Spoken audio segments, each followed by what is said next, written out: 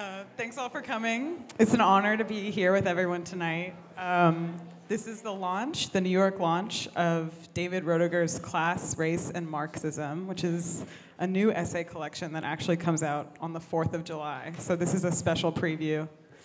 Um, so this book is a book that's anchored in the scholarship and the contributions of critical whiteness studies, which uh, Dave is, you know, one of the most preeminent scholars of. Um, it's a book that takes as a starting point that race is not outside the logic of capital and that solidarity is not easy, but it's worth our time, attention, patience, and study to, to figure it out. Um, the book consolidates many difficult questions that have emerged about race and class since the rise of the Black Lives Matter movement and the political fault lines opened up by the 2016 US elections. Um, you know, like there's there's a lot in the book about the Bernie Sanders campaign and even specific responses to Ta-Nehisi Coates' article about reparations. So, yeah. So in this moment where we're still trying to figure out what to do about our current political situation, um, it has a lot to offer about you know what just happened. Um, I want to introduce all the speakers. Obviously, we have Dave Roediger here going in and out, I'm sorry. Um, David Roediger's work over the past 25 years has set the agenda for the work on the constructions of race in US history. Um, his books have defined the field of critical whiteness studies and have been hailed by the likes of Angela Davis, Kimberlé Crenshaw, Paul Gilroy, and Gayatri Chakravorty Spivak. Um, he's currently the Foundation Distinguished Professor of American Studies and History at Kansas University.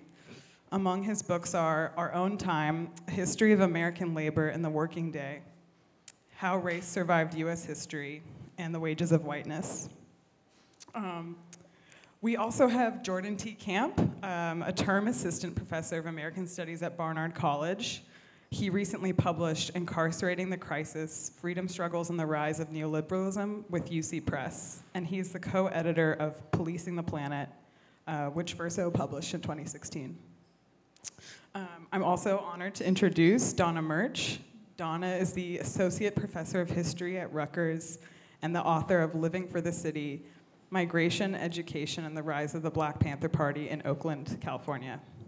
She is the author of the forthcoming book, Assata Taught Me, State Violence, Mass Incarceration, and the Movement of Black Lives, Movement for Black Lives, which comes out this fall from Haymarket Books.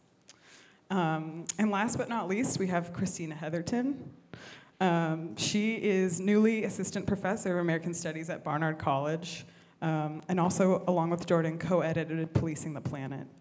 She's the author of The Color Line and the Class Struggle, The Mexican Revolution, Internationalism, and the American Century. So we're gonna start off with Dave speaking, and then all the panelists will speak for 10 minutes. We'll have a general discussion, and then we'll open it up for Q&A. Thanks a lot.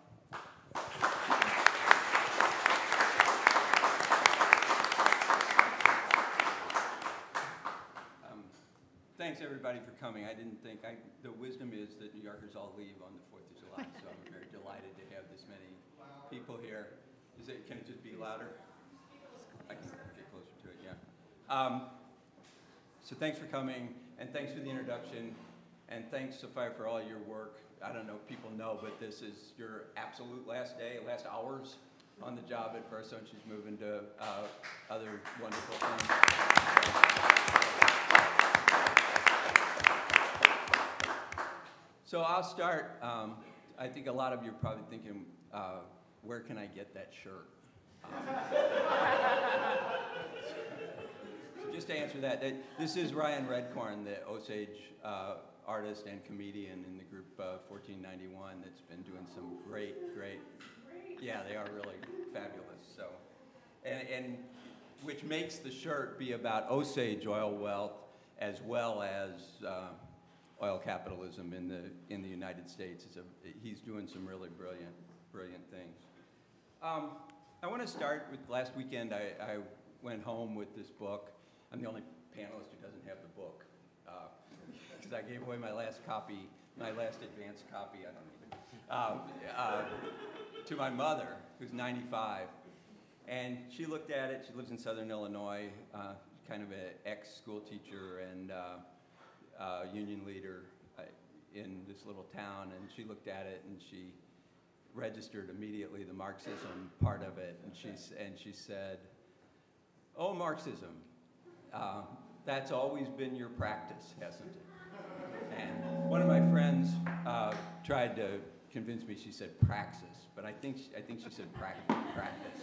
Um, but, and it was kind of, uh, mm, not exactly an endorsement, not exactly not. She's a left liberal. Uh, but she registered it, and it was delightful to me that she, um, that she did, because there's some controversy about how my work fits into Marxism. So I want to talk about Marxism and claiming Marxism for about 10 minutes, and then maybe I'll talk about the book itself for about 10 minutes um, as well.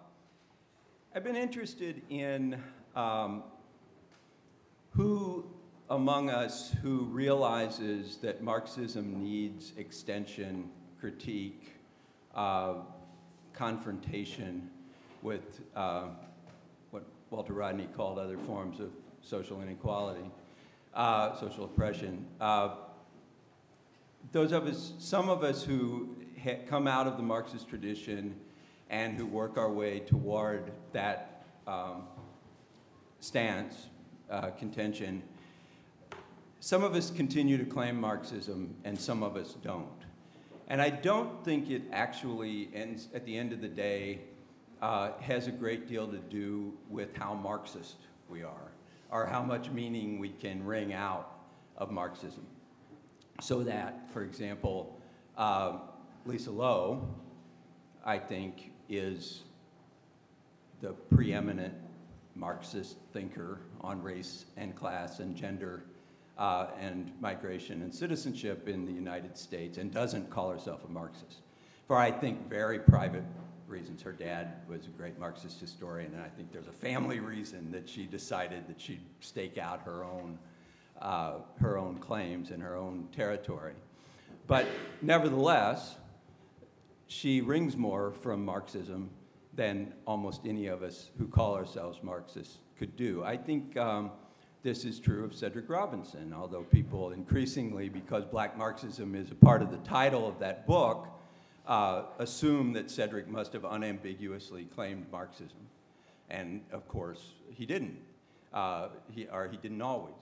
Um, so I, I, think it's interesting to think about uh, a range of people, some people in subaltern studies, Lisa, uh, who know more about Marxism than many of us who call ourselves Marxists do, uh, and who um, very much take off from Marxism but don't use that term.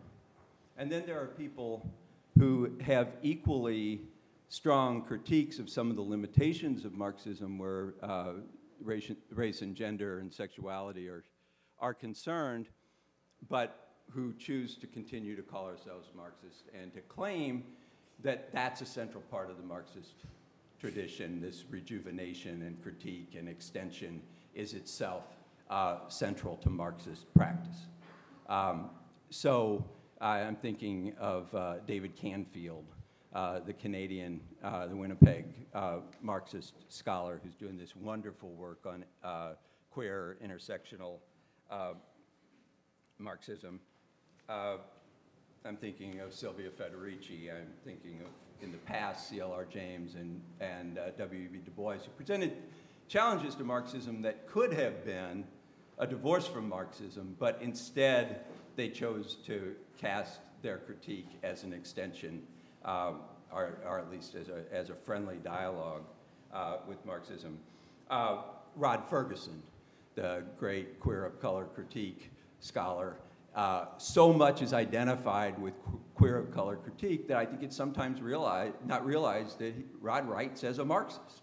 And many of the people who critique um, post-colonial and postmodern uh, writing can't see. They're so uh, concerned with his uh, articulations of identity and his extensions of Marxism into the realm of queer of color critique that they miss the Marxism uh, altogether. Now, the one person I'm going to talk about um, for a, a moment uh, tonight in that connection is the uh, Canadian economist Michael Lebowitz. And I really owe to Verso the fact that I started to read Michael Sebastian Budgen told me, oh, you have to read his Deutscher Prize uh, lecture. And Michael won the Deutscher Prize, arguably the most distinguished Marxist scholarly prize uh, in the world. And he chose to give this extraordinarily challenging Deutscher Prize lecture in which he said, he didn't contest the fact that for a person in the 1860s, Marx had very good racial politics relative to his time, that he was anti-slavery, that he didn't believe in mostly in the biology of, of race. All of that, he, that he uh, had extraordinarily good and revolutionary views on the Irish question. But what Michael argued was that all of that was wonderful, but didn't influence the theory.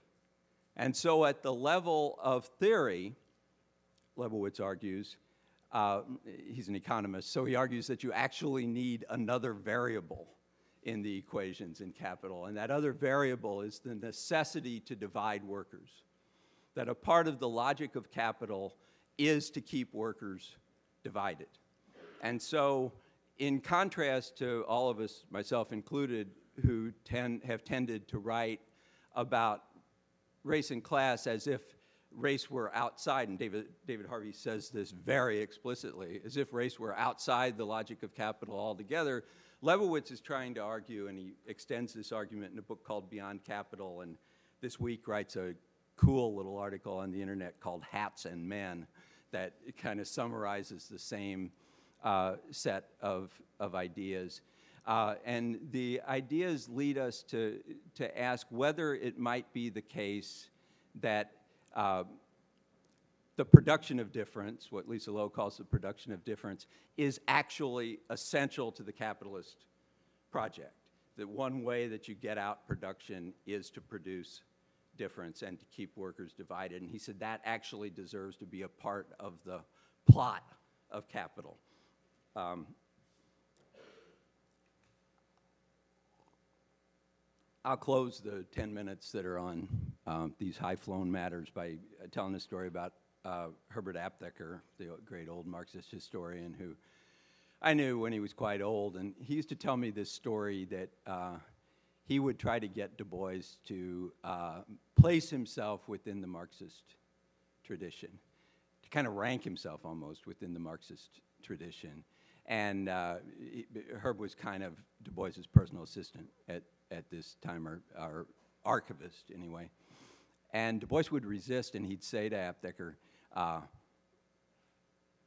at least this is what Aptheker reported, no, I'm a Christian. I'm the pro product of, of uh, Christian education and Christianity. And, and, Du Bois was scarcely mostly a Christian, but he, he didn't want to be judged as a Marxist uh, against other people who devoted their lives to writing about Marxism uh, because he said he came out of a completely different trajectory. I can imagine that he was kind of playing with Aptheker a little bit, that this may not have been an entirely serious response, but Herb took it as an entirely serious response. So I think I, I think I see my, myself as kind of in the opposite camp of that is my whole life as a surrealist and as a uh, labor activist, I've been nothing but a Marxist. So I actually, my work, I think, has to be judged within the Marxist tradition. And if I weren't in that tradition, I wouldn't really know how to proceed. I, I mean, I guess people in that tradition become anti communist and they have the skills to become anti communist. But this is Marxist work, and so a part of the book, I'm just going to try to take a quick shot at what's in the, in the book uh, a little bit. A part of the book develops Lebowitz's ideas uh, about the logic of capital and the production of difference and the management of race. So Elizabeth Esch and I did this book called The Production of Difference, uh, I guess now about four years ago. And um, some of you probably in this room are deciding whether to publish with Verso or an academic press. And you'll make your decisions, you know, and do what you need to do. But I will say that there are things, that book, The Production of Difference, the theory sections of that at Oxford were completely cut out. And so one of the advantages uh, to publishing with the left press is that you can say things that are recognizably important to a left press that are not necessarily recognizably important to history editors at a, at a, university press.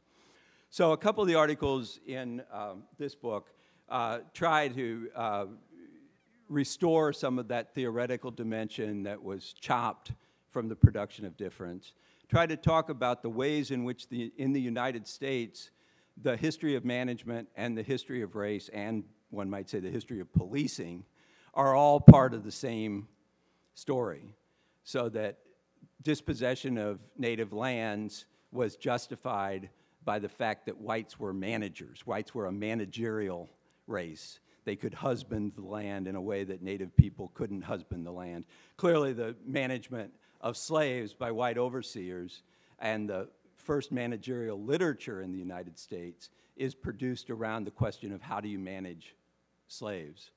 So, um, but what we argue also is that this continued right through, and even in industrial capitalism in the United States, the genius of management in the United States was to manage difference.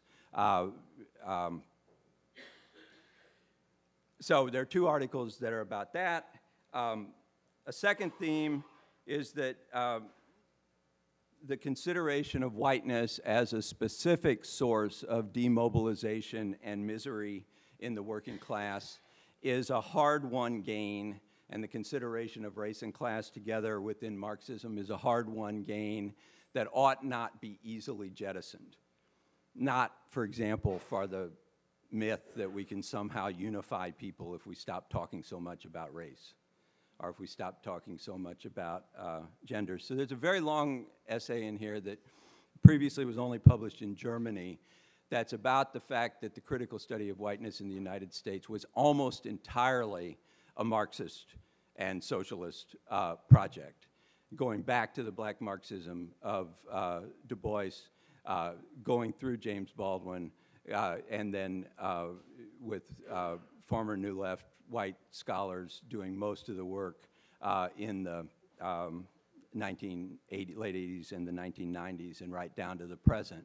So there's, there's a section of the book that argues about uh, restoring, uh, being proud of the, of the history of Marxist theorizations of race and class and claiming the critical study of whiteness as against the idea that this is postmodernism and this is the linguistic turn and this is every other thing, that it's actually been the product of Marxist uh, scholarship.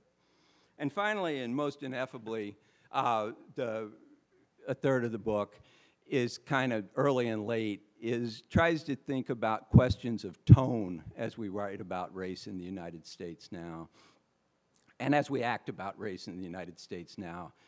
So if I mention the, the essay on solidarity, which closes the book, and it tries to argue that one of the things that bedevils us in social movements is that sometimes we think, we imagine a past in which there were these united social movements and classes were easily united. And in fact, people are oppressed commonly, but they're oppressed commonly in very different ways. And solidarity is very, very difficult and tricky work uh, historically, and it still is.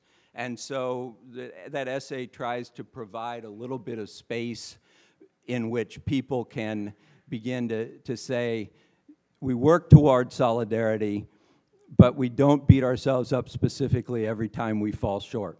It's, it's a part of the structure that makes it difficult to achieve solidarity. It's not just a part of our personal failings that um, make it difficult to achieve solidarity. And then the introduction kind of tries to emphasize that uh, the tone of too much writing about race and class is extraordinarily dismissive of the position of the so-called other side. And if it were true that there's a simple rhetorical solution to getting race and class right, uh, it might be worth uh, pursuing things in that sort of tone. But it's just simply not true. And the kind of popularity in some quarters of the left now for the idea that if only we didn't have so much talk about race, gender, and sexuality, people would get down to the real business of talking about uh, class, I think is profoundly uh, wrong, but also profoundly not materialist. We don't, as materialists, believe that wrong ideas persist because they're wrong ideas and people say them a lot. We believe that they have material roots and, and that that's uh, worth exploring. So I'll stop there. Thanks.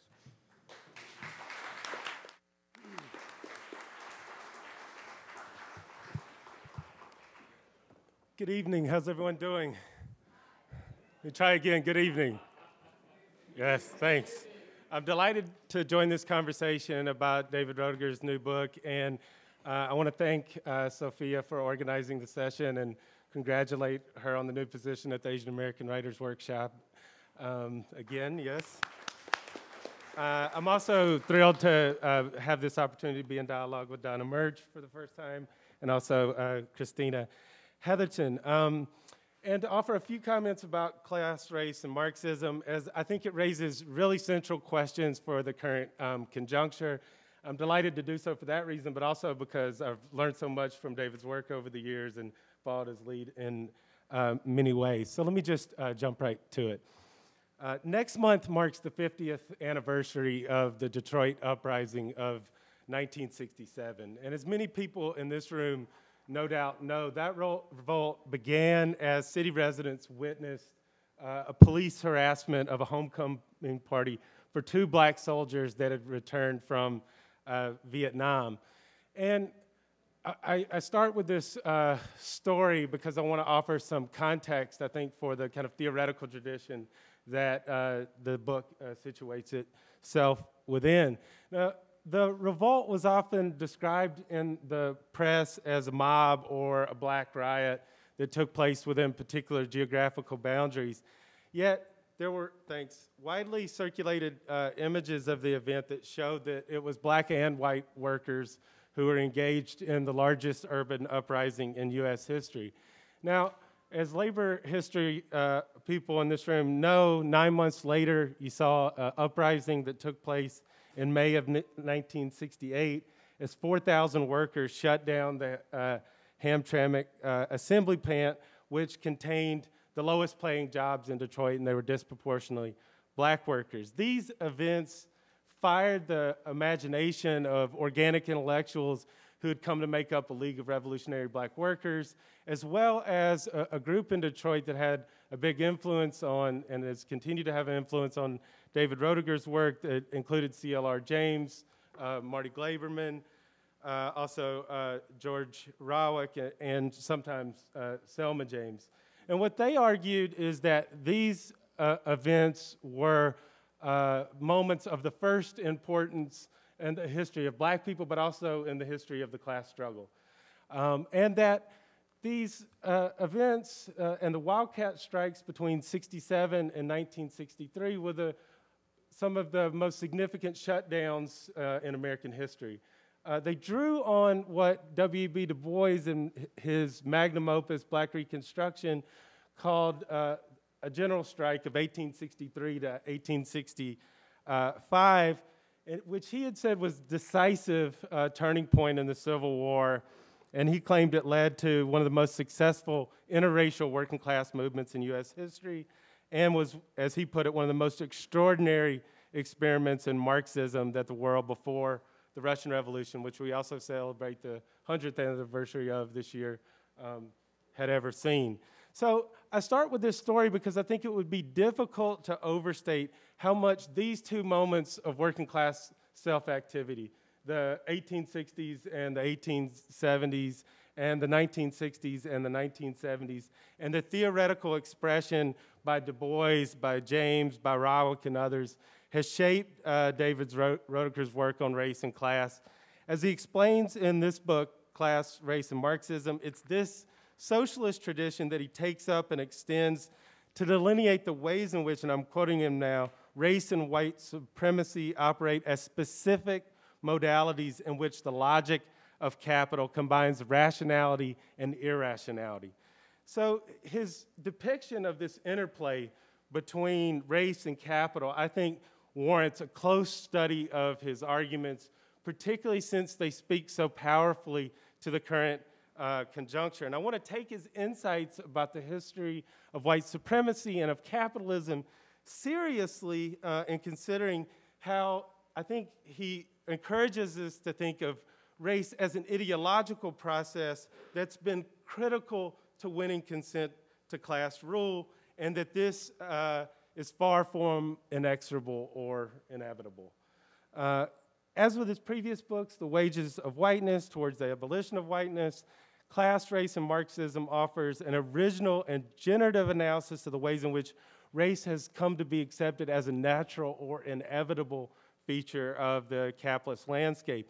And I think he offers us a historical materialist framework for understanding the ways in which he and our colleague and comrade Betsy Esch, following Lisa Lowe, uh, describe the ways in which the production of difference have enabled capitalism to survive challenges to its hegemony. And he demonstrates how the self active struggle to overcome racism, capitalism, settler colonialism, and imperialism have, and I'm quoting here, made all workers think more sharp, sharply about new tactics, new possibilities, and new freedoms. And so I think in doing so, it suggests that a struggle over the memory and the meaning of these events, like the Wildcat strikes across the color line, the Poor People's Campaign, the sanitation workers' strike in 1968, are critical for the development of an alternative political project and a historical investigation of the history of racism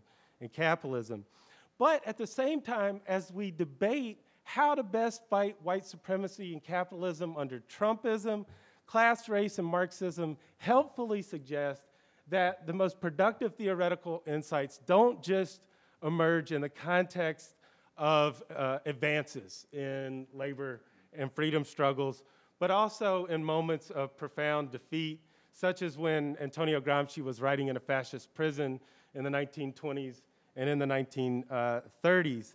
And I think, you know, he explains this to suggest how the critical study of whiteness emerged in a moment of such bitter defeat. And that was the rise of Reaganism and neoliberalism in the 1980s.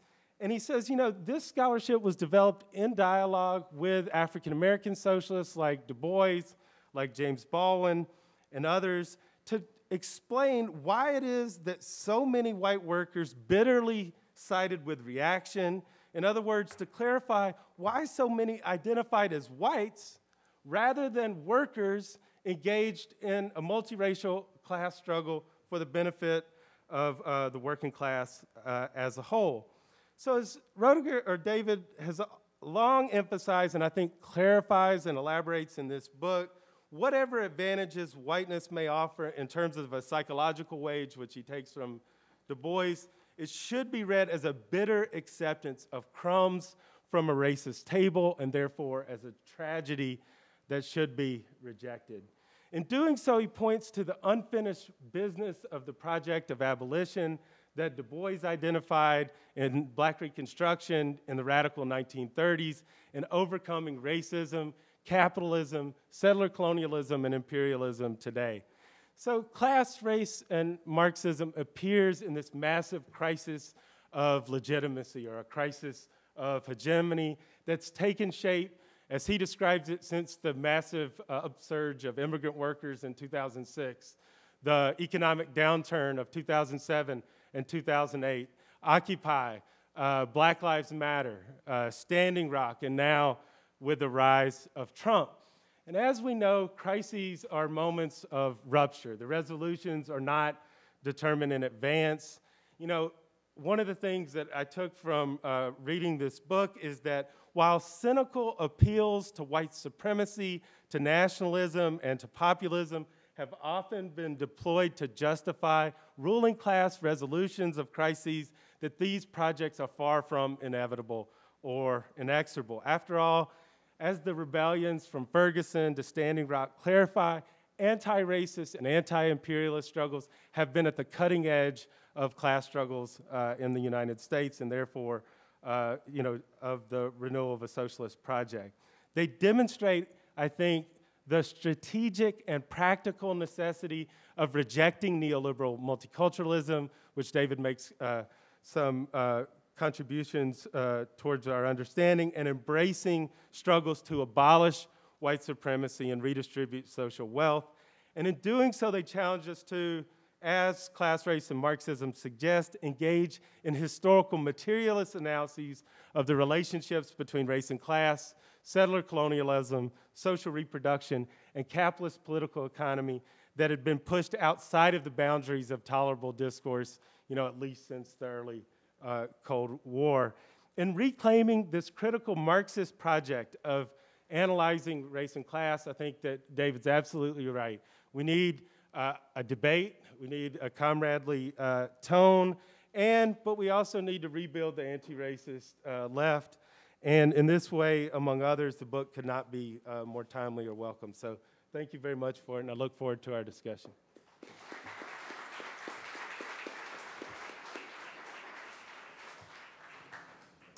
Good evening, everybody. Um, I'd also like to start by thanking Sophia for all of her wonderful work, both in organizing this event and really, um, as long as I've known her, for just doing an amazing job putting together events, doing outreach, knitting together circles, uh, uh, different communities of journalists and writers and activists, and just what a pleasure it has been to work with her.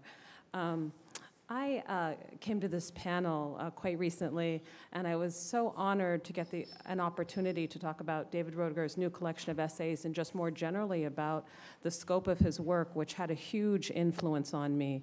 I just came from an organizing meeting in Chicago that was a four-day meeting, and it was bringing together all the different, many, many different segments from Movements for Black Lives, almost all black female organizers coming from all over the country. So people coming from SONG, from BYP 100, uh, from Blackbird, from numerous organizations throughout the country, from Project South. And it was kind of an attempt to think about how these different tendencies fit together. And being there, I was spending a lot of time talking about the historical moment that we're in. And I think that these essays are incredibly important in knitting together how we bring together analysis of class, race, and Marxism. Uh, one of the things that I'm quite struck for, struck about is just an intergenerational dialogue against about Marxism. That when you're talking about young organizers, many of them are in their early 30s, they are coming of age post Cold War. And I spent a lot of time thinking about what it means to analyze this particular moment as post-Cold War. Because I'm born um, just at the cusp, you know, at the tail end of the 60s social movements, but very much came of age in the 1980s. Uh, through that kind of you know, Marxist, leftist, socialist formation in which the Cold War was so important, both the scale of anti-communism and as we became politicized, the embrace of Marxism. So I think that David Roediger's work, for me, fit into a larger kind of historical moment that, to me, Marxism was absolutely crucial. For younger radical organizers, there has not been the same transmission of Marxist ideas. And so I thought one thing we might talk about is how to have intergenerational dialogue about Marxism. And I think this book does important work in talking about, for example, in the final chapter, the politics of solidarity, how we talk about solidarity, how we look at it historically, its use um, in the labor movement in the 19th century, and then what some of the challenges are for using it for contemporary organizing. Um, David Roediger's work has always deeply resonated with me because I too grew up in a white working class community in western Pennsylvania. And when I read Wages of Whiteness, it gave me a way to try to integrate what it meant to grow up in what today we would call a zone of abandonment, you know, living in an area that had been utterly divested of jobs with terrible environmental devastation, that was overwhelmingly white with a tiny black population. There were chain migrants from Laurel, Mississippi um, at the same time witnessing profound violence against our family and the, having, being able to understand both of those simultaneously, knowing what it's like to grow up in a working class community, in a white working class community, to see what people are facing, but at the same time, during the Reagan era to see that so much of the political attention was the fear of the contact with black families, the desegregation of neighborhoods, the contact in public and private schools, and the idea that the welfare state was going to benefit people other than themselves. So, Wages of Whiteness actually, for me, played a really foundational role that allowed me to understand the links between uh, third world Marxism and thinking about the traditions of C.L.R. James, Walter Rodney, um, the Grenadian Revolution, you know, the importance of those north-south revolutions, um, particularly in the Caribbean, as a formation. And I think for many people my age, that was a reference point, as was state socialism. So our grounding in American Marxism was often linked to Grenada, it was linked to Cuba, it was linked to Walter Rodney, and this was a kind of seamless understanding both about struggles inside the United States and how to think about state socialism, especially as it affected the global south. So I found his work to be really profoundly important as a new way to talk about race and to integrate it into Marxism. I think that one of the challenges that we're facing is that Marxism is not being taught in the university, and many of the institutions that we've used to transmit Marxism don't exist in the same way. So when we were at the MBL convening, I was talking to them about party structure. And people ask me very basic things what is party structure? So, core Marxist ideas are things that um, have not been have not been taught in the university, and I, am curious about how we talk about the effects of the Cold War and anti-communism, um, and how that has impeded transmission to a subsequent generation. And it seems that Verso is an important place to do this. The intellectual history that's in these collections of essays I see is a very important tool for education and opening up these dialogues. But I think they need to be opened up. I mean, even to be able to define oneself as a Marxist requires exposure to Marxist ideas, it requires pedagogy and epistemic community. And I find that this epistemic community is not nearly as strong uh, today as it was when I was the age of many of the protesters. So I'm curious to talk about that and to talk about how we translate these ideas. Jacobin has done an important job, I think, in the dissemination of left ideas, but um, as uh, David states so eloquently, there's also been a real tension about this separation between race and class, and that's taken place in a variety of venues. So he argues, what is distressingly new, or at least resurgent is the extent to which indictments of anti racism and even the use of race as a concept come now from liberalism and the left. Electorally, of course, one hallmark of the Democratic Leadership Council to move the Democratic Party still further to the right has been an attempt to distance itself from specific appeals to and identification with people of color. Thus, constituencies most aware of both race and class inequities are marginalized in the name of the appeal for universal programs even as universal programs such as welfare as we know it are subjected to bipartisan and anything but colorblind attacks. So, on the one hand, you have a kind of liberal attack on the use of anti racism, but we're also seeing a resurgence in a kind of socialist discourse that sees race as antithetical to studying the real operations of capital. And the essays in this book, I think, do a beautiful job explaining to us about why race and class need to be fully integrated and understanding the very history of whiteness as growing out of Marxism and genealogies of the left. So I can't think of a more important moment for the work of David Roediger at the height of white nationalism. Um, for me, I feel that it is a return in many ways to a politics of the 1970s and 1980s. I'm from Erie County, which was one of the most important counties for the victory of Trump and a deep, deep left materialist engagement with white nationalism that understands the profundity of how class and sense of both dispossession and entitlement inform whiteness. And I think that that to me has always been one of the most deeply resonant parts of David Roediger's work. Um, the politics of solidarity is something that this book engages with, and it's really the point at which it, it ends. And I'm hoping that we can have a, a discussion about that, how we think about solidarity, and how complicated solidarity has become as the core platforms and constituencies of the left in the United States have shifted. I mean, one of the most profound shifts I've seen over the last five years has, has been really the shift in gender when you go to these organizing spaces, they are 95% female. They really are. This is true of the housing movement. It's true of jobs for justice, the left of the labor movement. You know, the core materialist struggles have really shifted towards women. And queer, it's not even a politics of queer solidarity. Lesbians and transgender people are the core organizers. So, in that sense, this is really uh, a politics that is just absolutely integral and can't be separated. So, um, I. Uh, am honored to participate in this and curious to have a dialogue about how to fit these ideas into some of the political challenges that we're facing today.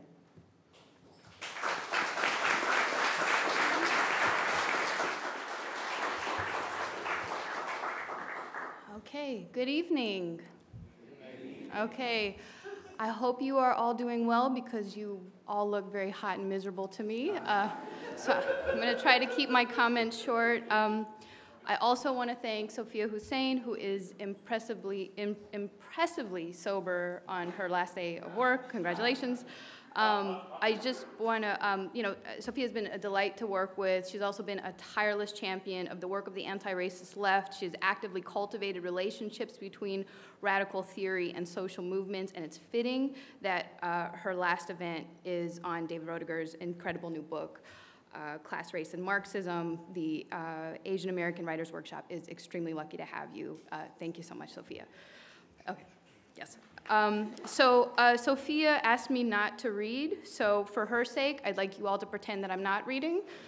But I mean, look, I didn't know this was going to be live streamed, so I'm going to read. Um, I, I'm uh, also very honored and excited to be here to celebrate Dave Roediger's new work. David is an endlessly generous scholar, one who has consistently made principled interventions in dialogue with social movements. The new collection is important for debates about Marxism, both within and around the anti-racist left. In such debates, as my mentor Ruth Wilson Gilmore uh, consistently reminds me, the point is not just to be right. The point is to get free. I think this is the spirit with which David writes, reflects, and revises his thinking. This is the spirit of this new volume, and I'm excited to be here in the spirit of generosity and towards liberation. David opens the book with a question of legibility. How do we understand the class struggle at present, especially when so many people are being politicized by issues of racism, police killings, Muslim travel bans, racist anti immigration bills and proposed walls, mass incarceration, drone warfare, the killings of trans people of color, and militarized settler colonial violence, particularly in the repression of the water protectors opposing the Dakota Access Pipeline, and now in these insipid celebrations of uh, Canada's birthday. Um, this was also a question that motivated Policing the Planet, the book that Jordan and I co edited. By understanding anti racist struggles against policing, against urban redevelopment, against immigration control and militarism, we believe that we could more robustly chart challenges to racial capitalism at present, and I think David's book moves with a similar intent and spirit.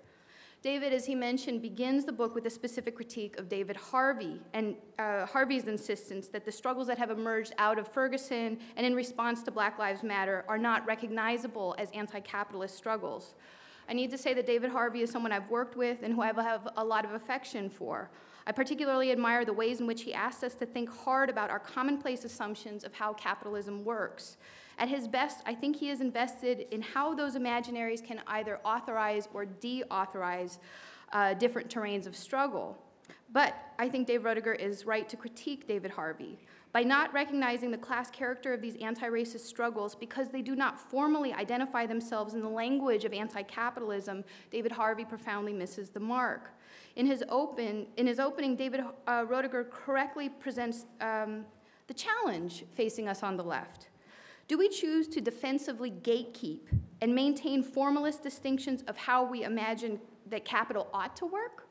Or do we expand our theories in order to identify how the class struggle is actually unfolding before us? David Harvey's caution is re related to a regrettable but common narrative that, quote, identity politics is to, is to blame for the decline of class based politics. I want to say that this is particularly odd that at this moment in history, both the left and leading voices of the far right are equally invested in critiquing identity politics, using this catch all term to name what they see as a singular source of division and divisiveness obstructing their respective movements. The poisonous shorthand of identity politics deployed by both the left and the right subsumes, to my mind, the insurgent and radical critiques of capitalism by anti racist, feminist, queer, and non normative lenses. These critiques have advanced rather than inhibited Marxist theory, a point that David maintains throughout this book. Easy dismissals of identity politics have made many social movements perceive Marxism as inhospitable to their struggles. And liberals are all too happy to cultivate and nurture this discomfort. As we build the left and as we defend ourselves, we have to be very cognizant of the arguments and the tone that David Roediger is putting before us. One thing that David reminds us throughout the book is that class is a relation, not a fixed identity. The dynamics of class movements emerge in different convergences of struggle, and our theories have to be capacious enough to account for these convergences. And to offer just one concrete example that's been on my mind, and I'm sure on a lot of your minds, I've been very heartened by both the outrage and the organizing that have emerged out of the scandal of the Grenfell Towers in London, which I'm not going to totally reproduce. I'm, I'm, hoping most people know about this. Um, where, of course, an untold number of people who were poor, immigrant, working class died when the public housing tower block where they lived caught fire.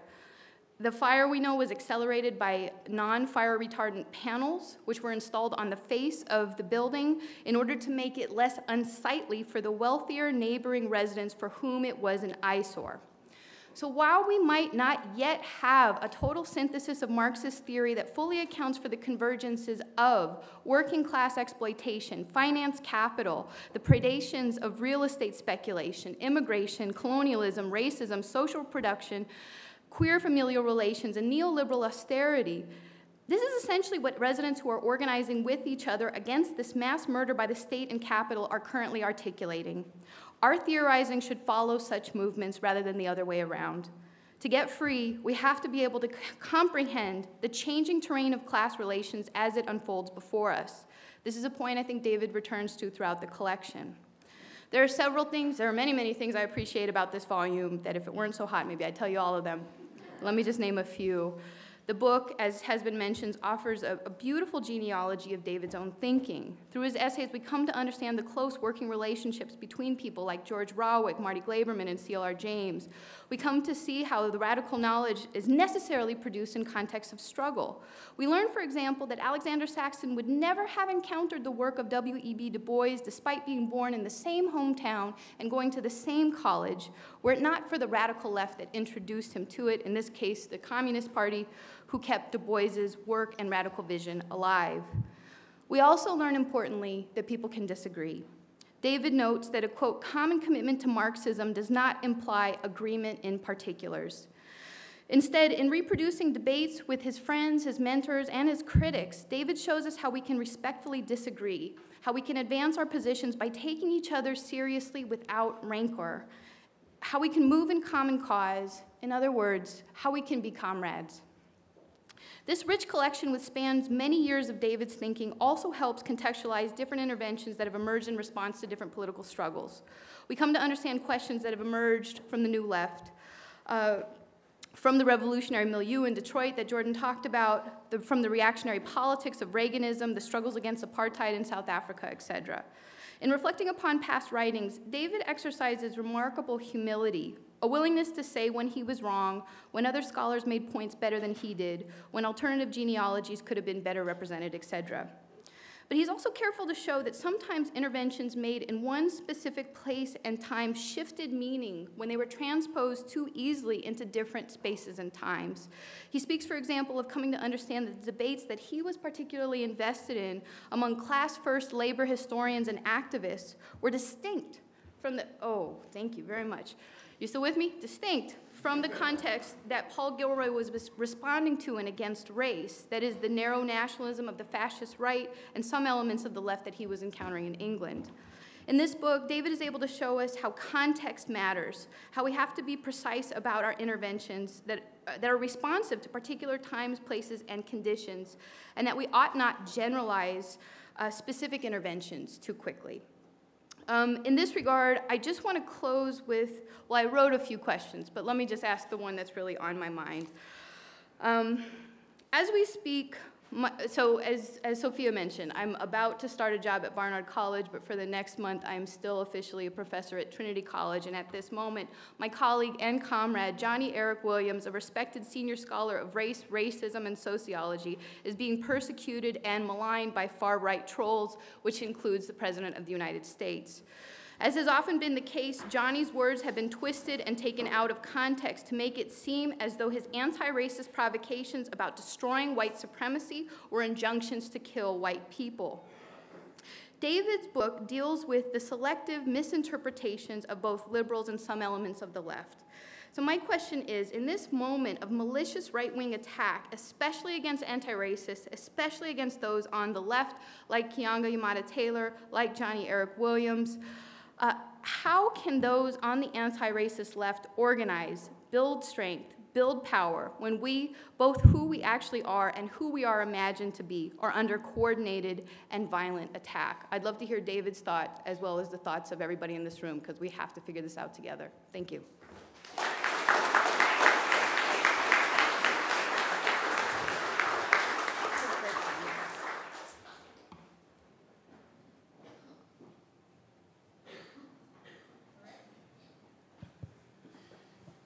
Looks like David's writing. So we're going to transition now to a discussion. Everyone has a kind of question they want to focus on, and we're going to do this for the next uh, 30 minutes. Also, if you want to, if you're really hot and thirsty, there's water over here. Um, I know it might not be the easiest to get to, but it's really hot, so don't worry about like ruining the camera or walking around to get over there for water.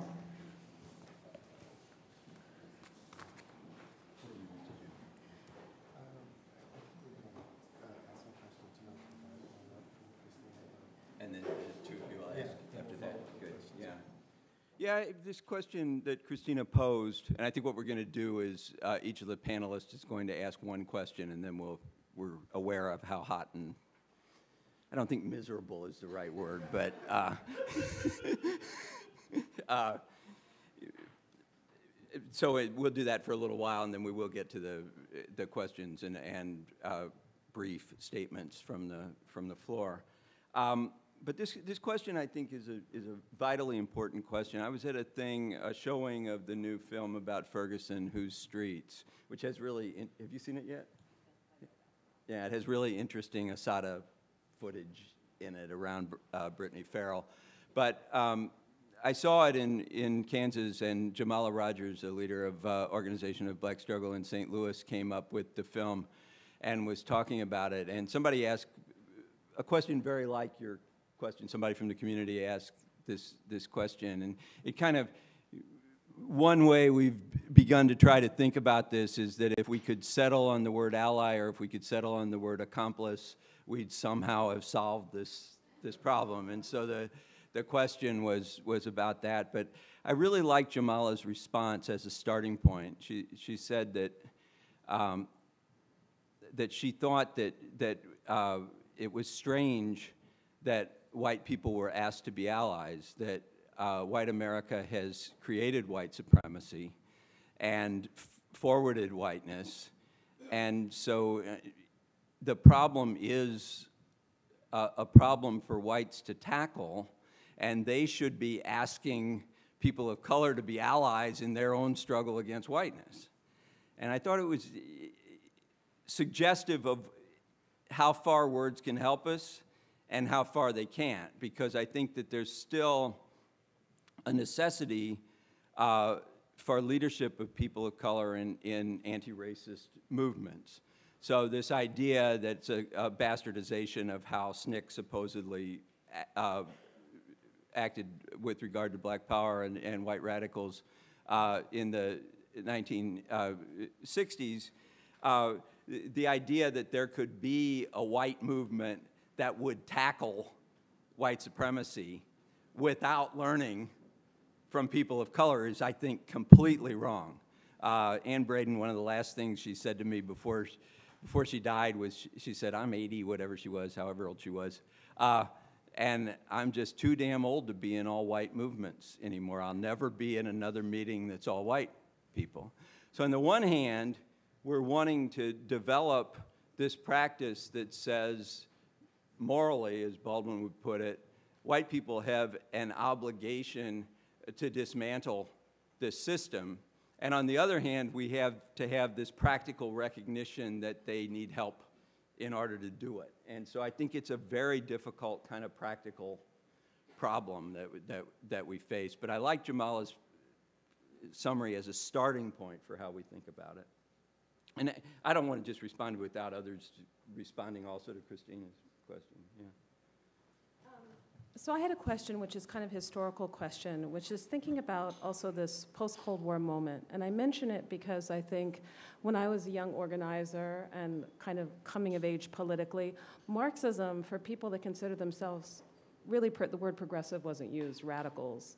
Marxism was a core part of one's formation. So a lot of the debates and anger, and sometimes even, I don't want to call it anti-Marxist discourse, but it came precisely because of an engagement, because people saw themselves as part of a shared tradition. And even in terms of core curriculum, you know, Marxism was being taught in socio sociological theory. It was a core part of liberal arts education. So one thing I'm just curious about is, you know, one of the issues for young organizers is for how to think about how to integrate race, class, gender, and most importantly, deeply materialism, you know, historical materialism.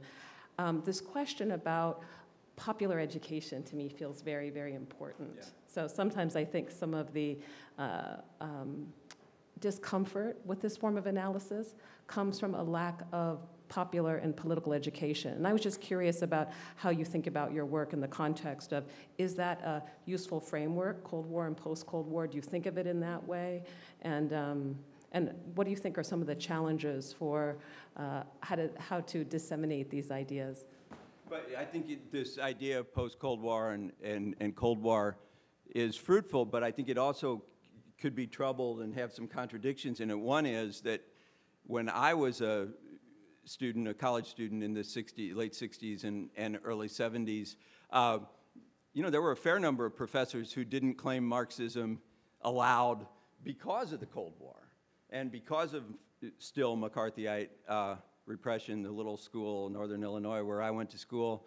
Uh, we were set to hire E.P. Thompson. E.P. Thompson wanted to come teach there when I was an undergraduate, and uh, the college fathers, in reaction to his Marxism, uh, figured out that he didn't have a PhD.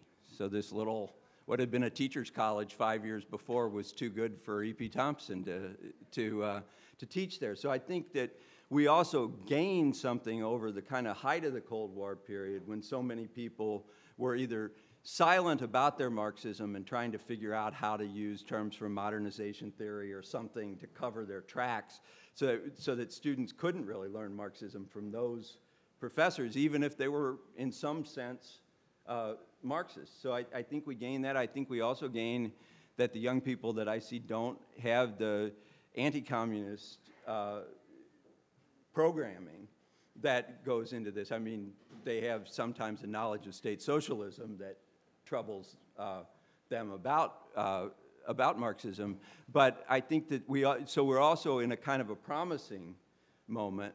And I, I think that your emphasis on popular education is really vital because I don't, I don't know anybody as a comrade who learned their Marxism at university. I mean, they might have gotten interested through a class, but I think that, at least in my generation, you learned Marxism in the movement. And you learned it in your on your own time and in popular classes, and you know probably 50 of you were in capital study groups at one point or another, but a lot of other kinds of, of uh, popular education like that. And some of that continues, and one of the wonderful things that David Harvey does is to teach people the basics of Marxism in, in uh, certain palatable uh, ways, but I think you're right that this is a vital task. Yeah. But I, I, what I meant was uh, if anybody has a response to anybody else's question. So if either of you want to talk about Donna's question. Um, I, I, may come back to it. I, I okay, have to kind of sit with it for a second. I just had in my sure. head, I'm sure people can identify the question that I was going to pose. But um, I mean, one of the things that I guess, uh, you know, Christina mentioned in her comments and I wanted to come back to is that the book engages in some self-criticism. You kind of talk about not only you know things that you have rethought, but things that the critical study of whiteness have rethought, right? And so one of them that I thought people might be interested in, and I'd love to hear more about, was you say historical materialists or the anti-racist left ought to rethink this notion of privilege, um, and maybe to let it go in the context of declining conditions for working people and rethink uh, advantage. So I wonder if you could say a little bit more about what Yeah. brought you to that I- and I what's mean. So the, this grows out of, I was on the radio in Rochester, on National Public Radio in Rochester, New York, and Rochester is, I think, the fifth poorest big city now, kind of thoroughly gutted by deindustrialization. Um, so that I did a tour with labor people of the town, and then I was uh, on the radio, and the, the guy on the radio was marvelous, but for an hour, he probably used the term white privilege 35 times. And I thought, you know, the neighborhoods that I've just driven through, you could organize in those neighborhoods. You couldn't organize around white privilege as one of the leading things that you started by talking about. Now, I raise this in the book very trepidatiously, partly because it's silly. We don't get to decide whether to use white privilege or white advantage. But there is a sense, I think, that if we had a choice, that in certain instances we might be better off using the term white advantage than white privilege because it, sometimes it begins to sound like not being brutalized by cops is a privilege instead of a human right. And so that for some parts of the uh, white population, the so-called white population in the United States, um, I think they could acknowledge their own advantages, which are many, and they can name. I used to teach in a UAW New Directions, Jerry Tucker's summer school. Uh, and I would go in and, and talk about white workers, and I'd say, and maybe it was 40% workers of color, 60% white. And I'd say, so white, white worker, why would workers want to think they're white? What makes workers think they're white? And it was no mystery. People were able to say, oh, you can get a loan. Oh, you can live anywhere. Your kids can go to, to good schools. You can get in the skilled trades. This was in the 1970s in, in auto. So that, you know, those advantages are real and known on some level by white working people, but those same people might not necessarily want to think of themselves as being privileged in this social order. Now, again, this is not a campaign of mine that, to, to change this, and white privilege has done as a concept very, very important work in Black Lives Matter, and young people know it and use it and use it to good uh, advantage. And so it's not a soapbox that I'm getting on about this. But there are moments when I, want, I find myself wanting to say, uh, let's talk about white advantage in the United States instead of white privilege in the United States.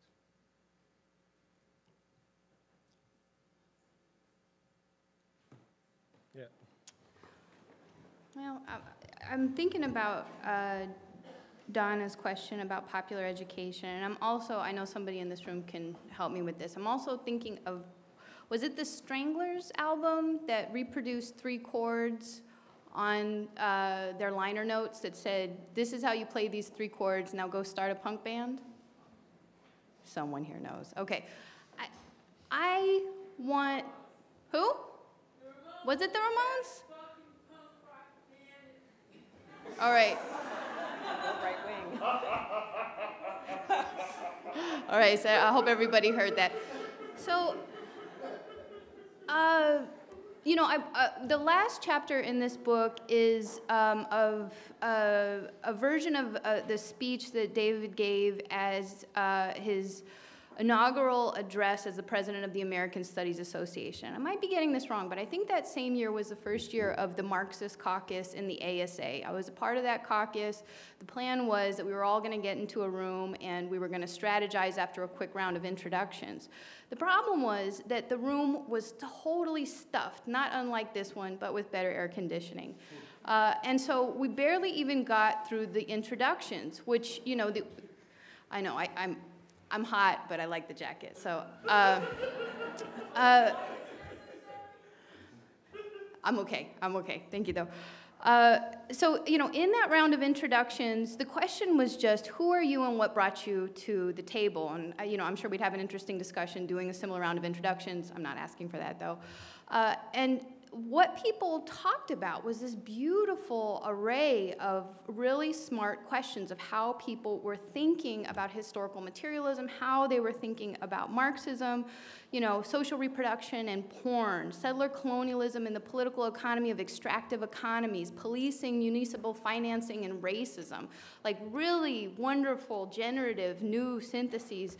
And so, you know, we didn't get to the planning, but it was a wonderful room to be a part of. And so, I guess the only thing I want to trouble is that we, you know, that the point is that we need to educate people, that the direction has to be we authorize something. Instead, I really think that the book David's produced is an invitation, not unlike that Ramones album. I, I, think what we should actually be doing is encouraging more creative and imaginative work. You all came here tonight because you're thinking about these questions.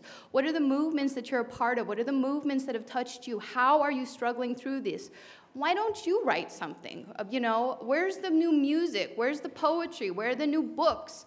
I mean, I, I do think, and I've experienced this, you know, the, the enormous pressure that comes with thinking about Marxist theory as this very fragile thing that only a few men are entitled to write about. When in practice, you know, like my experience is much more like this room and like that ASA caucus. I think there's really interesting creative work, and I, I do think that part of the answer to your question, Donna, is how do we open that? How do we get people to think about Marxism like that Ramones album and go start their own punk band or some equivalent metaphor. You know, one, uh, one reason I think that's so important is that we pay a big price that so much of the people who define the, the left in the United States are in academia. Because anti-racist education and action requires repetition, and almost all of academic work requires creation and a new idea. You have an idea for a minute, you move on to another idea, you move on to a, another idea. And that's not how we win people when there's a reproduction of white supremacy all the time. So the, the same things which are actually sometimes kind of commonplace and a little bit boring to repeat have to be repeated over and over and across generations and in new places and as people come into to struggles it's not enough to have good ideas and to have a, a new idea. You have to be able to win people to old ideas uh, as well and i think academia very much cuts against that in certain certain ways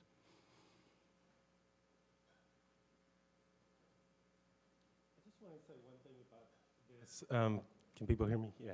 Um, you know, Donna, you say, uh, you know, one of the challenges is that Marxism's not taught in the university. I mean, I, I never read Capital in, in, a single class I took, or nor did I read Black Reconstruction or, or, Black Jacobins and so on. I mean, you really have to engage in these study groups and uh, organizations and so on. But I mean, I think partly it's because of, you know, some of the work um, that David engages in the books helps us understand why. That deeply anti-Marxist project takes hold. So Jodi Melamed, for example, and Rod Ferguson, who you talk about in the book, but also in, in other work, Seizing Freedom. What's the name of the review did in AQ? Uh, Freedom Break. Freedom Break, sorry. Um, and, you know, they show that neoliberal multiculturalism is a strategy of incorporation, I think precisely as a counterinsurgent strategy to prevent Marxism from emerging, to precisely to demonize and criminalize a materialist kind of anti-racist radicalism. Um, and it's a problem I think we ought to uh, continue to wrestle with. And some of the most exciting uh, work that David's also engaging with is challenging the kind of recognition politics at the heart of neoliberal multiculturalism and reclaiming Marx to think through the problem of capitalist accumulation and settler colonialism. So, uh, you know, uh, in Canadian context, we have people like Glenn Coulthard, who I think is doing uh, important work, and then transnational work by people like uh, Audra Simpson, who I, I think is in the, in the room. So I think that, you know, this uh, is a kind of contradictory moment. On one hand, we've seen uh, a com almost complete locking out of the Marxist tradition, But then there's a lot of pushing back uh, that's happening, and it has to do with the kind of things uh, that Christina and Dave were emphasizing about the kind of queer, anti-racist, indigenous, uh, you know, embrace of the Marxist tradition and intervening in the present. And that seems really exciting uh, to me.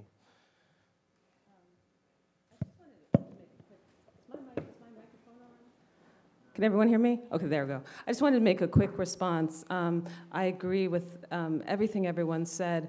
I guess I didn't mean to imply that the university should Promethean offer Marxist ideas. That, that's really not what I meant. But given that I study the Panthers and that the community colleges, the, what took place in the 1960s, the profound access to public education, how important those study groups were, and the kind of appropriation, things that today people call the undercommons, that appropriation and the use of study groups. But I absolutely agree, DIY, consciousness raising groups, study groups, but simply raising that idea because I do think not so much in the elite universities, but you know, there was a radical moment in the 1960s where campuses that didn't charge tuition were sites of major organizing, and then some of those people left. So it's not to, to argue that the university is the exclusive site, but I just, I mention that because I think we live in a time precisely when that moment has been erased it's, a, it's, a, it's something to tell people. My students are always surprised by it about the radical university precisely because students are shut out. The immense loads of debt that people carry, the,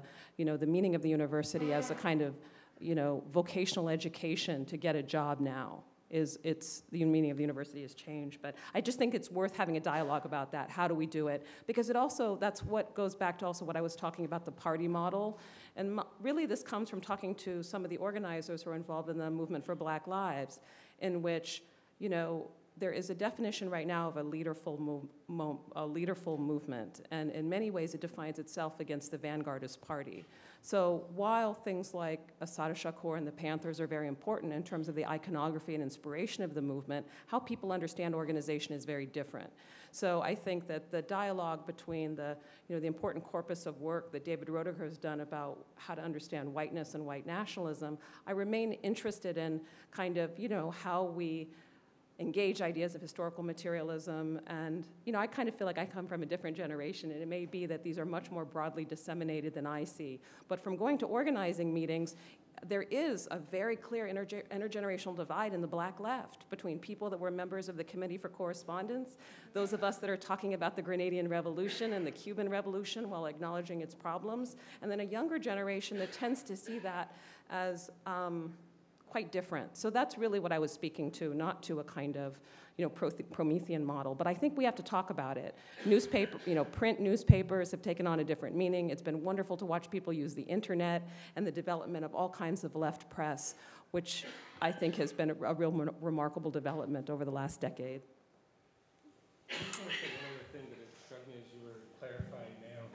I hope this is on. Yeah. Um, I, I, think it's really important what you're saying about thinking about the university as a site of struggle and, uh, you know, drawing on these traditions of the Panthers and so on and seeing the campus as a place to organize. And this is incredibly important in the context where there's this kind of popular, uh, dismissive, you know, social media circulation that says, you know, what we do on campuses doesn't really uh, matter at all. Um, and I, I, think, you know, it goes along, and I want to bring it back to the urgency of what Christina concluded with. In the context of the right wing attack, they understand the university as a site of struggle. They're trying to, you know, build up all the momentum they can uh, to shut us down through the, you know, attacks on uh, Keeanga-Yamahtta Taylor, Johnny Williams, you know, uh, uh, Geo and others, right? I mean, this is something that we really have to take seriously, and it's not unrelated to the erasure of that memory of radicalism, you know, that goes back to the 60s and, and beyond, right? So I, I, really appreciate you bringing that to the table. All right, I think we're going to transition to Q&A now. Um, I think the best way to do this is maybe just people raise their hand if they have a question. We'll take three at a time, and then I think we'll try to wrap up a little bit early so we can like mingle amongst each other and talk. Um, okay. Um, okay, great. Let's do that. I'm going to start with you. Hi. Uh, thank you to all the speakers um, for the great talk. So, um, Oh, right. Sorry. Uh, my is Helios. Uh, my pronouns are he and him. So, well, my, my question has to do with one of the things that, um, David, you said, um, the production of difference as central to the working of capital. Like, I, I thought that was a very interesting um, notion. And um, so, I mean, on one hand, it does. It sounds like you're talking about an ideological move, right? Like something like uh, like like whiteness as a psychological refuge. On the other hand, it also seems like you're talking about like a concrete economic process, like something that capitalism actually needs. Um, so, I was wondering if you could elaborate on that a little bit more. Um, and I also wanted to, to ask, like, so, so what we see in the far right movements today is like this tendency to displace the antagonisms of capital by projecting them onto the figure of the other. Um, and I wonder how you think like this sort of production of difference maps onto that. Because on one hand like you know there are obvious similarities but then on the other hand it also does seem like so I, I take whiteness to be in like contrast to blackness let's say. Um, so in the case of blackness it seems like the, the other is a lot closer than than it than it is in the case of like the immigrants or the Muslims right? And there is this historical um, um, set of like circumstances wherein they've been oppressed, etc. Um, so I wonder if you could speak to that as well. And my last thing, very brief, I swear, but it's just about like um, the, the, the, this conversation about identity politics. Um, I, I mean, short of a couple of class pure class reductionists, I don't think anyone really wants to dismiss identity from the picture altogether. But I think the real danger here is identitarianism, wherein identity becomes like the central focus of your politics, and that, of course, like you know, leads to things like uh, Beyonce being heralded as like the the, the queen, uh, like a feminist icon or something like that. Um, sorry. Um, no, but and and well, I think earlier you spoke about um, uh, uh someone alluded to the fact that like you know th these are measures to undermine the tradition of radical critique and i think this is there so there were um, documents that were recently declassified under the freedom of information act that showed that the cia act, or the, or perhaps it was the fbi act, actively like uh, propagated postmodern theory to undermine the, the tradition of radical critique. So I, I think there perhaps is some overlap there but yeah thank you. So we're going to try and do the three questions so they can kind of answer them all together so let's make it a little bit more brief. Thanks. Uh, hi, my name is Jordan Helene, uh, he and him. I have a quick, I forget whose opening comments mention it, but it mentions something along the lines of uh, sort of a mainstream liberal politics that's sort of shying away from looking at issues of race um, in order to sort of emphasize sort of um, universal programs, universal welfare programs. And this is sort of a thing that's been like I've kind of been struggling with it for a while because I, I, see this whole sort of divide between, I guess, sort of what was mentioned just before, you know, identity politics or class politics. And for a long time, I've really considered these sorts of universal programs, universal healthcare, universal education, universal basic income as being unquestionably worthy goals. But now I, I'm starting to see that there is a serious critique of them, and I kind of wonder what is the future of, uh, of, of working towards these goals? Can they be? Can this be done? Should it be done? You know, what do you think of that?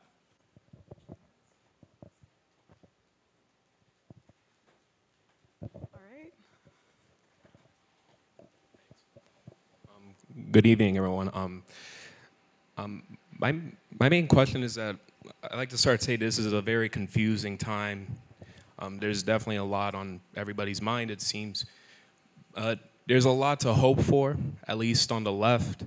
Um, I think with this conversation of like the post-Cold War era, there's a lot more young people and there's a lot more people in general that are openly coming out and saying that yes, I am a socialist, yes, I am a Marxist, yes, I am a communist, an anarchist, a syndicalist.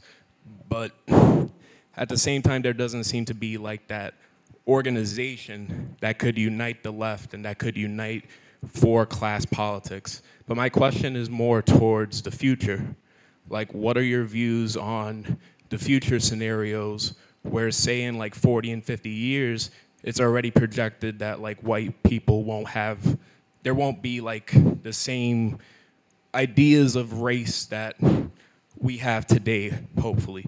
There won't be like these like the idea of white supremacy may not even be a factor considering that in 40 or 50 years white people won't be the majority population and also, like with the material circumstance, like, are we approaching a point in capitalism where the next crisis could put everybody's material well-being at stake, and everybody in humanity will suffer because of it. And so, do you have any hope that any unity will be possible based off of these two ideas the uh, inevitable destruction of white supremacy and the inevitable worsening material situation under capitalism and neoliberalism? Great, thanks. Okay. Um, okay. Um, um, yeah, the, the, the first question about the materiality and the ideology of the production of difference. Uh, we closed the production of difference at a time when I was living at um, University of Illinois, and there was a, a packing town uh, called Beardstown uh, just down the road. It, it's a town that was uh, a sundown town, so an all-white town, very good union jobs, limited to uh, to white folks. Uh, and then when they um, when uh, Oscar Mayer threatened to move the plant out, the union uh, accepted that they would literally kill uh, a time and a half the uh, animals that were being killed. So it was no new technology, nothing else, just direct speed up. And meatpacking is already the most occupationally dangerous, injury, uh, injury-prone occupation in the United States. So this plant literally faced, how do you get people to do this? And the union also exceeded the uh, givebacks that made it a, a not such a good working class job in terms of wages anymore. And so all of a sudden, the new Cargill, Car- Cargill Meat Solutions was the new name of the, of the plant. Uh, when they came in, they, they said, How do you do this? You bring the workers of the world to this sundown town. So that all of a sudden there were 25 languages in the, in the schools, and this happens in Kansas, this happens in Iowa uh, all the time. And uh, partly the white workers retired early or figured out a way to get disability and had disability from carpal tunnel uh, given this new regime of, of production. And so they very quickly filled this plant with people from just all over the world, but also in all different immigration statuses and situations. So they had workers who were undocumented, they had workers who were immigration lottery uh, winners, they had workers who were refugees. They had everybody except African American unemployed people from Chicago they brought down to, to fill these jobs in this plant. And they just pitted them against each other. And they would, so somebody would win the immigration lottery in the Congo. A little bit later would be a worker in Beardstown, Illinois. And if they were not meeting production, Cargill had salmon cannery ships packing ships in Alaska, and they'd send them to Alaska as punishment for not panning out in, in Beardstown. So I think what we're trying to argue is that there is this ideology of whiteness that, that matters, but there's also a way in which pitting workers against each other has been a central way to get production out in the, in the United States and to accumulate uh, capital. Um, yeah, the healthcare and universalism one, I think it's a, it, you're right that it's a time. Angela Davis was out visiting not too long ago, and I, I said that, well, too long ago, things have changed since then, but two months ago, and I said, well, surely nobody will be in the position of defending Obamacare now, right? And, uh, you know, we had a kind of an argument about that. But I, I think that part of the supposition in the United States is that we don't get to have a welfare state because uh, a segment of the white population regards welfare as uh, a racialized program. And it doesn't matter if the welfare is, uh, so called welfare, is um, universal or not. Aid to families with dependent children is a universal program. It's not a program for African American people, and yet when Clinton ended welfare as we know it, it was because the, this universal program was so thoroughly racialized. And that's one of the reasons that, one of the things that single payer will have to confront if it wants to, uh, to win is to, you, there can't be a way to do raceless social welfare in the United States. It's part of the politics of social welfare to have to take on those issues and those, those myths. Um, I, I agree on the environment one in the back. I think we have a very uh, incredible moment and are likely to have a more incredible moment as the planet uh, collapses and as cities collapse uh, and as weather changes. Uh, that will present all kinds of new organizing uh, opportunities. I don't agree so much about the inevitable destruction of white supremacy. I think South Africa is still a white supremacist society. I, I, I think you, you can think in a place like South Africa of apartheid being the scaffolding on which white supremacy was built. But once it was built, the scaffolding is not so much necessary to keep white supremacy going in a place like South Africa.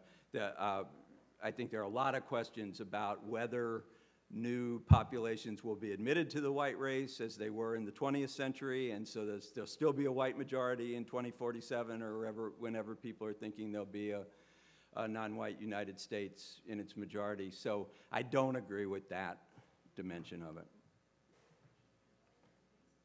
I just say really quickly um, that also I don't think there's any guarantees of or inevitable destruction of racism or capitalism. That it's a, you know, it's a it's a product of a political and ideological struggle. But I, I might disagree a little bit with David about the question of the social wage. Um, and you know, because I think what, one of the things I've learned from anti-prison and anti-policing struggles is that you know, and, and I, actually from Anne Braden, right? Uh-huh, yeah. She would talk about how white workers would think that the welfare state, you know, they wouldn't want to pay because it would go to black people essentially, right? Yeah. But the problem is that they didn't understand that the, what bloats the state is all this expenditure in policing, in prisons, and we might add permanent war, right?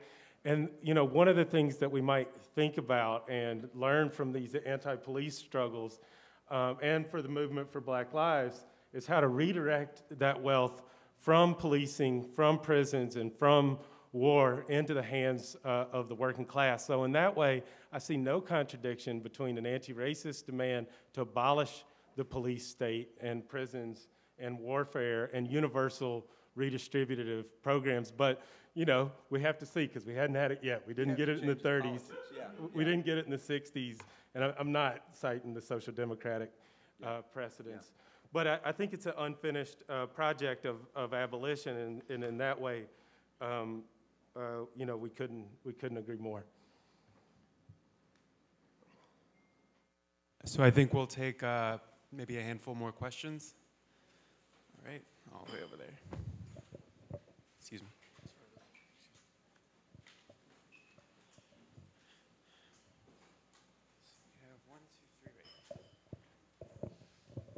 Uh, hi, thank you for the talk and thanks for coming. My name is David, and I just want to ask how you uh, would respond, um, David, to the, um, I think, very legitimate push, how the ruling class would respond, how the white working class has already kind of responded to the push for reparations, specifically and exclusively for the descendants of enslaved Africans. I mean, there's some talk about what form that would take. I don't think anybody's really looking for a check for individuals, but more institutionally, and how that would fit into your whole thesis.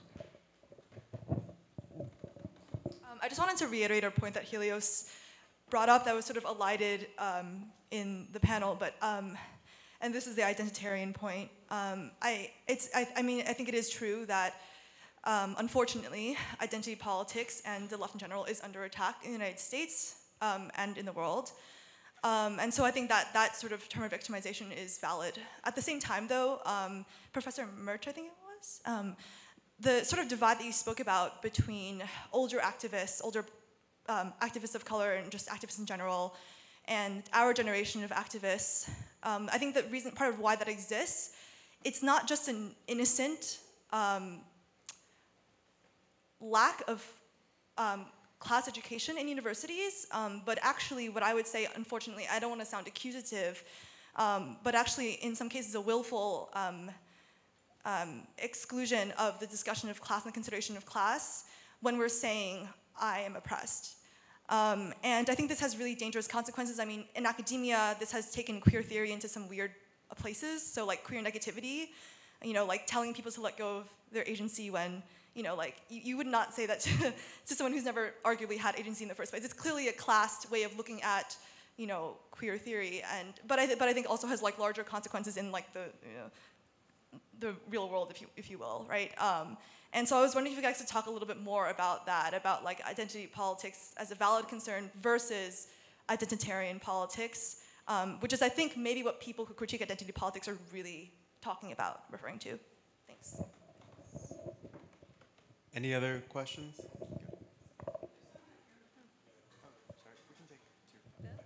I'll be brief. My name is Alana Lenton.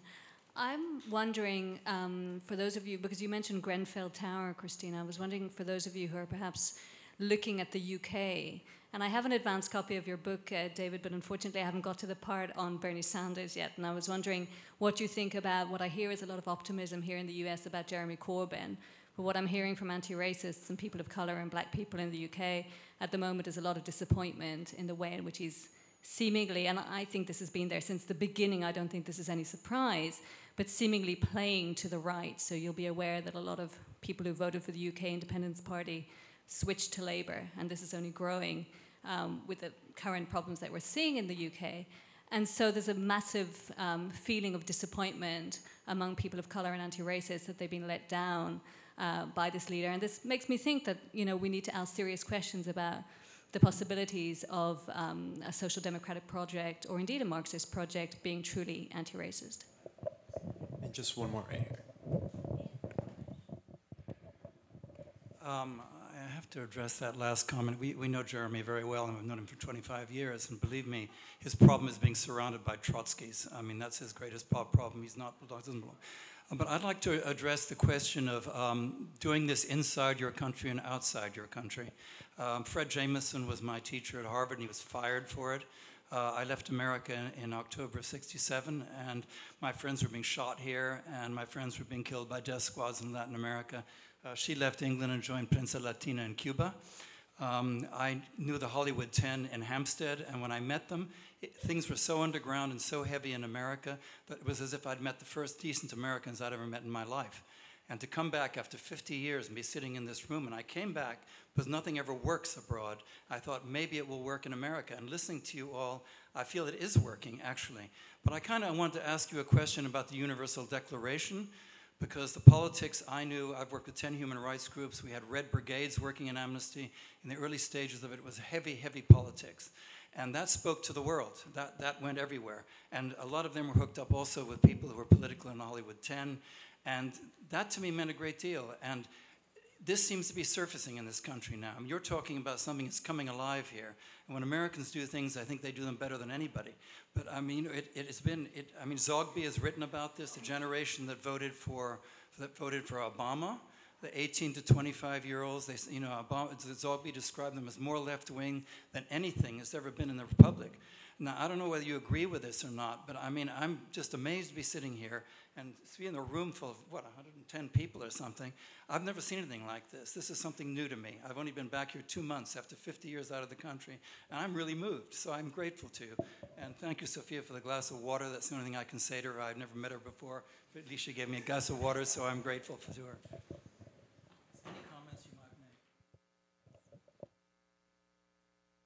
Going to be brief and let people have the last word. Um, thanks for that comment.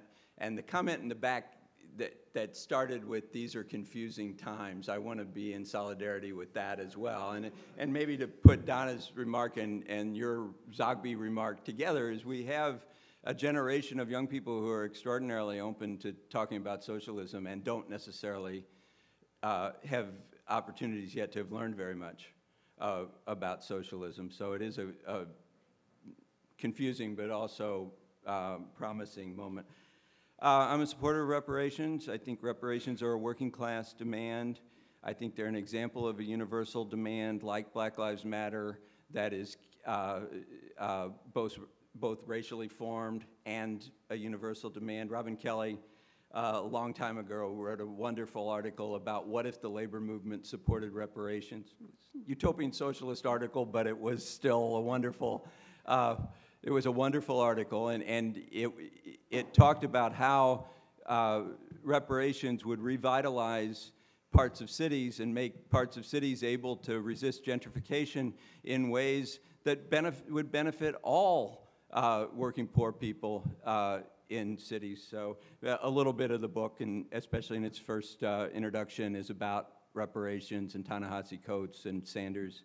Um, the, on the identitarian one, and I'm sorry I, that I missed that as your second question. Um,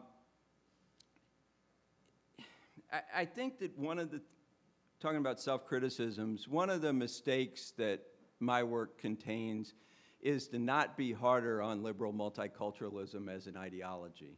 I think that liberal multi, so that in saying, in rejecting left critiques that move straight to universalism uh, out of hand, uh, that can sound like solidarity with liberal multiculturalism.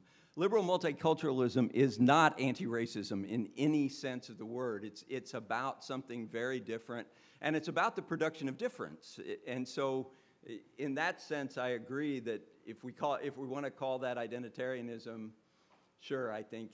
But I, I think we have to be very firm in saying there are all of these corporate things about in the world and educational institution things uh, that call themselves multiculturalism and that have no anti-racist aspirations at all and also ignore class. So I, I, I agree. Uh, and I, I'm afraid I don't know enough about the, the Corbyn one uh, yet. Thanks. Um, oh, thank you all for your questions. Really complicated um, and engaging. Um, I guess I'll start where David ended. One of the things, too, though, I think about diversity and liberal multiculturalism that's worth thinking about is not just them as ideologies, but them also as products one of the things I think is important when we talk about diversity and liberal multiculturalism is not just thinking about them as ideologies that kind of float, but they're the products also in many ways of political defeat. I mean, they emerge as affirmative action is being dismantled. They emerged out of a fight for broader and more inclusive protections in the labor market, in the university, and I really think that matters. It's a kind of, you know, the, the defeat of many of the fights to extend, when thinking about the post 1965 moment when we were talking about not only legal incorporation, but how do we, you know, core parts of the Black Power movement were about the restructuring of the economy, and that included things like everything from provision of contracting and monies to local organizing groups to ways to think about the deep racialized political economy. And it's the defeat of these attempts to restructure the American economy and labor market that led to it. So that does matter. It's not just an idea that everyone, someone sprung up and said suddenly, I'm a liberal multiculturalist. You know, there was a process of corporate appropriation. At the same time, you were having the defeat of these organizations. So I think that that matters. I am uncomfortable with this language of identitarianism because it's, of course, um, as David Roediger's work, its core lessons are about white nationalism. So identitarianism is a term that's often used to talk about, you know, subject and marginalized populations. So, I, you know, I'm old enough, unfortunately, to have lived through the debate about identity politics. This is the third time. And I just, it's like the great undead. I just wish it would die. It's imprecise, and it's imprecise because it allows us to attack something without naming it. And I'm very, very uncomfortable with that. So I think it's very important. If we don't like Black Power, we should say it. If we don't like Indian based organizing, we should say it. If we don't like queer based organizing, we should say it. The use of analogy is really a very, I think, can, can be a very destructive thing. So that said, depending on how old you are, what identity politics is means radically different things. I've had wonderful discussions with some of my colleagues, younger colleagues and graduate students about this. When I hear identity politics, I hear black power. I'm reliving the debates from the 1980s um, and still the attacks on the urban rebellions, you know? Um, that the way that that was used. Uh, other people talking about it today are talking about safe spaces and the privilege checking. Um, so it's very, very different. So I think we should try to name our politics more precisely and then have a really honest argument about how we feel about those politics. Something very quick I just wanted to say also about, you know, the the pitting against this abstraction called identity politics against re- the redistributive state to me was the most unfortunate part of the Sanders campaign. I actively worked in that campaign. I even went to some of the rallies. Um, I wrote things in support of it. I was very, very critical of Hillary Clinton. And I've been utterly depressed in the aftermath of the election of watching, you know, try to build the base for redistributive politics against something called identity politics, when, when you look at the outcome of the election, it's precisely the most vulnerable populations that are being attacked. So as we're talking about, you know, kind of the building of new institutions to transmit leftist, because I like to think of Marxism as being very broad epistemic community. I like to think of myself as a big tent leftist who likes many different kinds of tendencies. You know, that's something that we want to figure out. And I think that that's why David Roediger's work has been so important for providing us, through multiple historical studies in different time periods, ways to understand the deep intertwining of race, political economy, and class, and how, you know, to situate a, a critical interrogation of whiteness within uh, Marxism and political economy. I'll say this and then give Christina the last word. Um, I mean, the, the concern I have is similar you know, I worry that the critique of identitarianism can lend itself to saying, well, the problem is the people of color what done it, or it's the women what done it, or it's the queer trans people what done it. When the most cynical exploitation of identitarian politics is from Trump, is from Bannon, it's from the right, right? They're appealing to the sense of a besieged identity amongst whites who, you know, there's no Fordism, the kind of housing questions being pulled out from under them, and they're you know in a panic and anxiety about the future.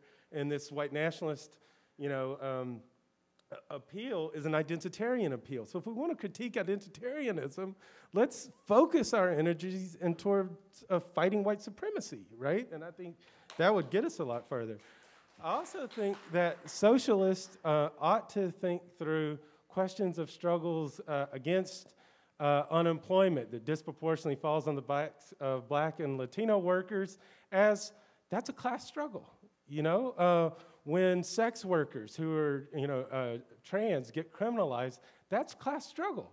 When people are engaged in resistance to racist state violence, that's class struggle. That works a hell of a lot more effectively to link. We learned this from James. When, when people move, when the masses move and they confront a system of oppression, I think Marxists ought to try to move with them and uh, you know, do the theoretical work uh, accordingly. The future of socialism is linked to the self-activity and the struggles of, uh, you know, the overwhelmingly and disproportionately black, Asian American, Native American, and poor white working class, right? So, you know, with David, I think that rather than trying to say, you know, race is divisive and if we only emphasize class the way that, you know, some of our comrades on the socialist left do, that we ought to put it at the front and center, you know? And, and there's been exemplary ways that, like, you know, trade unions went to Standing Rock. I thought that was really uh, important, and we ought to, you know, build on that. You see unity between the Fight for 15, which is not exactly a classical union, but still it's, you know, in alliance with um, the movement for Black Lives. And these are instances that um, I think are the, the future uh, in the present. Okay, here we go. I'll be brief. Um, I think a really important principle of socialism is that scarcity is a capitalist fantasy.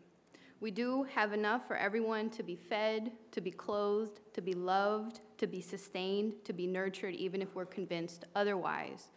The racist logic uh, that Dave talked about earlier that has dismantled the social wage is built on you know both this imagining of scarcity and this capitalist sensibility, a kind of zero sum. If somebody gets something, it means somebody else has something taken away. And when these services are racialized, this produces the kind of vengeance of the, of, um, that I think we've talked a lot about today. So I don't want to be misunderstood, and I agree and you know want to reaffirm what all the my other panelists have said. In talking about the critique of identity politics, nobody's trying to confuse identitarianism um, with anti-racism, as David said. What my efforts today are intended to do are, are to say that when somebody is talking about racism, about race, gender, sexuality. And, and remember, like people speak in the categories that are available to them. It's not as if Marxism isn't available uh, a, a, a, grammar to people. People are trying to make sense of the world they're in with the categories available to them. And if we feel like our impulse, if the knee jerk reaction is to think that in speaking about any of those categories, any of those forms of oppression, we are taking away space to talk about class, that same zero sum imaginary, I think that that reproduces a capitalist sensibility. So not only do we have to have a more generous and capacious kind of socialist logic, I think we have to have a, a, socialist sensibility that's more patient, that's more generative, that calls in rather than calls out. And I'll just repeat what I said before. The point is not to be right. The point is to get free. Thank you.